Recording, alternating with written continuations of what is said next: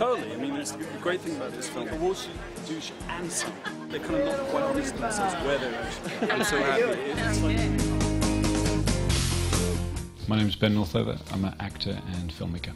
Today we have the premiere of a feature film that I act in called Lotus Eaters. My work is very international, so wherever I am, there's always like checking on this, checking on that. But my days in New York are always quite busy. It's always go, go, go. street east from Broadway, you know? You might be done, I don't know. It's a kind of crazy day. It's like very many levels, many levels. What's the deal? And then I've got a uh, guy called Matthew who's following me, taking pictures of an actor on his premiere day in Tribeca Film Festival. So it's kind of crazy.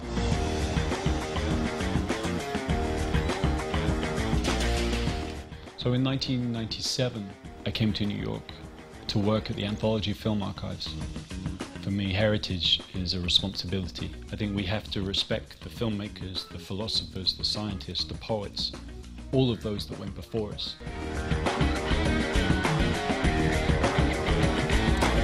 I think for me, the words future roots would have to be something which is moving. It's like the photographer Danny Eldon said the journey is the destination. Thank you very much, man. Jonas Mekas is one of the landmarks of modern cinema. And he's, he's genuinely one of my best friends. So when I'm in New York, I stay here at the studio with him. Are you an artist or a businessman? Artist. Who, who are you? I'm an artist. So, go as you are. He has influenced so many people from John Cassavetes to Martin Scorsese to Jim Jarmusch. And he really championed what became independent cinema. To go and pick up some clothes to wear. I can't look like a tramp at the uh, film premiere. For me, quality is something, it's like a standard. It's like trying the best you can to make something the best it can be.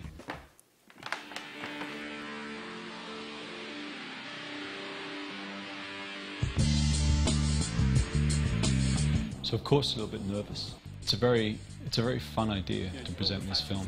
And it means a lot when you put a lot into a project that finally it'll have a great place for it to have its birth as such.